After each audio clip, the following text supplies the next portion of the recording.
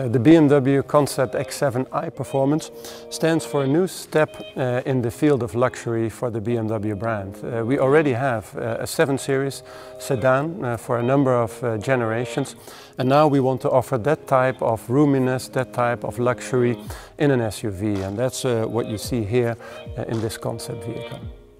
This concept vehicle uh, plays a big role also in the, um, uh, in the communication of our new uh, design language for the BMW brand. Uh, we are introducing a form language that is cleaner, calmer, um, fewer lines, uh, but the lines that we do have uh, are very, very precise. Uh, and with that um, a cleaner form language, uh, of course details become more important. Every detail counts and uh, in this concept vehicle you see all of these things. Uh, the cleaner um, body surfacing and uh, uh, the great care and attention for every single detail.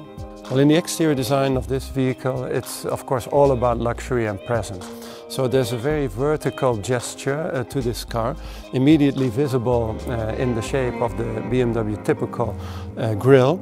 Uh, also in side view, uh, the pillars, the, the greenhouse uh, is very vertically oriented.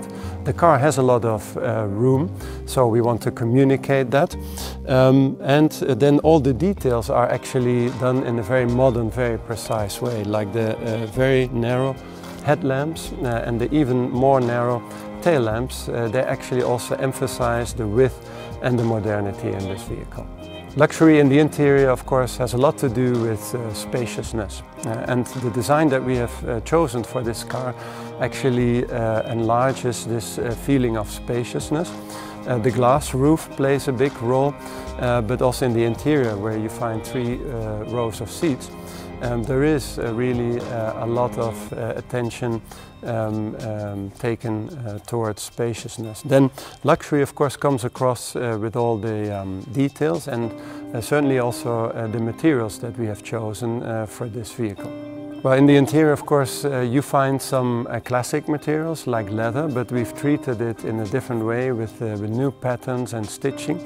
Uh, you'll find some wood, uh, modern uh, interpretations, open pore wood, but you also find glass. We've done certain elements that as a driver you touch and you operate often in glass that was made by Swarovski.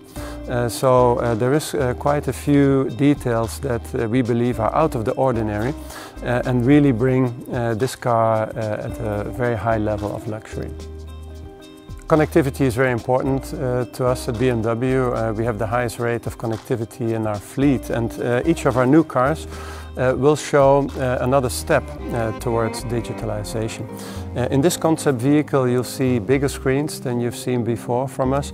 Of course touch control, gesture control is possible and in this vehicle passengers can also share digital content amongst themselves. You can move digital content from front to back in the car uh, so there's also another level, a new level of digital experience uh, that you can uh, get in this vehicle.